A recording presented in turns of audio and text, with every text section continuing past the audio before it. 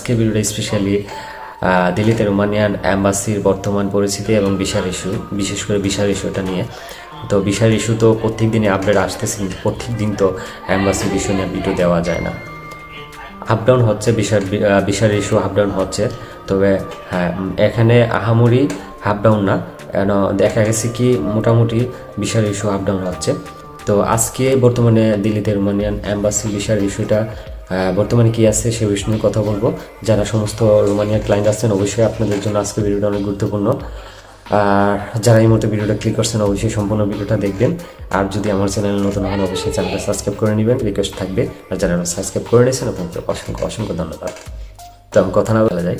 আসলে দিল্লিতে Romanian embassy যে বা অ্যাম্বাসিতে যে বাইরা ইন্টারভিউ দেওয়ার জন্য এবং অ্যাপয়েন্টমেন্ট ডেট পেয়ে ওইখানে অবস্থান করতেছে এবং যারা ইন্টারভিউ দিচ্ছে এবং যারা দেওয়ার জন্য প্রস্তুতি নিছে। ওদের সাথে, সবার সাথে আমার সংযোগ নেই, কিন্তু আমার ওইখানে কিছু বাইদের সাথে আমার সংযোগ আছে এবং তাদের কাছ থেকে যে আপডেটগুলো বিশাল ইস্যুগুলো বিষয়গুলো আপডেট আমি পাই। তো তাদের কাছ থেকে যেটা জানতে পারলাম যে আলহামদুলিল্লাহ আজকে বিশাল ইস্যু মোটামুটি খুব ভালো প্রায় ফিফটি পার্সেন্টের উপর ছিল। তো সেখানে কিন্তু তারা ইন্টারভিউ দিতেছে, আলহামদুলিল্লাহ সবাই ভালো দিতেছে।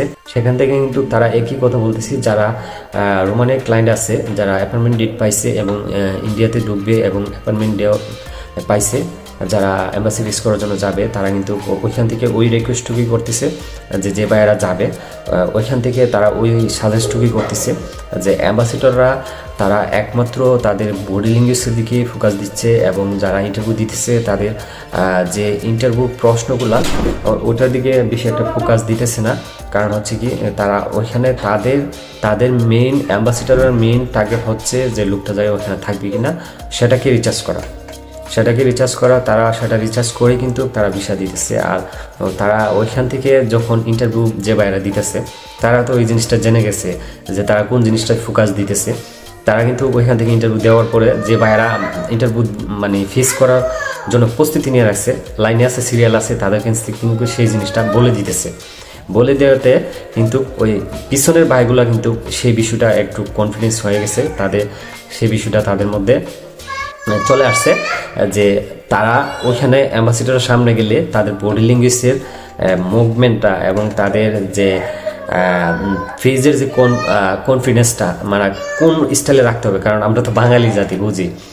কোন স্টাইলে রাখতে হবে? কারণ অ্যাম্বাসিডারের কাছে যাওয়ার পরে এত ফেজের মধ্যে এত ওভার কনফিডেন্সও না, আবার এত লো কনফিডেন্সও না মানে ফেজটা এরকম করে রাখে যাতে অ্যাম্বাসিডার বুঝতে না পারে যে তার মধ্যে এরকম কিছু আছে যে সে রোমানিয়া যাওয়ার পর থাকবে না। রোমানিয়ার ভিসাটা পেলে সে রোমানিয়া যা, যায় থাকবে না। ফেসটা ওরকম করে রাখে। যারা ওরকম করে রাখতে পারতেছে, তাদের মধ্যে ভিসা পাওয়ার সম্ভাবনাটা বেশি থাকতেছে। আর যাদের মধ্যে দেখা গেছে কি, তারা একটু ওভার স্মার্ট দেখায় অ্যাম্বাসিডারের সামনে যায়, খুব স্টাইলিশভাবে প্রশ্নের আনসারগুলো দিতেছে এবং তার ফিজের মধ্যে এরকম অবশ্যই যারা ইন্টারভিউ দিতেছে, তারা কিন্তু অ্যাম্বাসিডার যে ক্লায়েন্টদেরকে কী ধরনের মানে কোন দিকে ফোকাস করতেছে, এই জিনিসটা কিন্তু তারা বুঝে ফেলছে। আর এই বিষয়টা কিন্তু যারা ইন্টারভিউ দিবে এবং সিরিয়াল আছে, তাদেরকে বলতেছে। তো সব কিছু মিলায় মানে দিল্লিতে এখন মোটামুটি একটা যে ক্লায়েন্টরা আছে, মোটামুটি ইন্টারভিউর যে সিস্টেমটুকু জেনে গেছে। তো আশা করি সেই জন্য বিশাল ইস্যুটা এখন একটু ভালো। তো আপনারা যারা যাবেন, অবশ্যই আপনারা ওই ধরনের মুভমেন্ট রাখবেন। কারণ হচ্ছে কি সেই বিষয়টা কিন্তু এখন অ্যাম্বাসিডাররা দেখতেছে। তো এই ছিল দিল্লিতে রোমানিয়ান অ্যাম্বাসির বর্তমান আপডেট এবং বিশাল ইস্যু আলহামদুলিল্লাহ অনেক বারো ফিফটি পার্সেন্ট উপরে আছে। অবশ্যই আপনাদের জন্য দোয়া এবং ভালোবাসা রইল। তো ভালো থাকবেন। আসসালামু আলাইকুম ওরহমতুল্লাহ